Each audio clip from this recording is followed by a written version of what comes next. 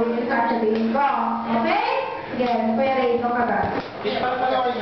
Yan, sila si Kuya ba? So guys, pag narinig niyo yung signal na go, ilalagay niyo yung balon dito. Ayan, so hang siya.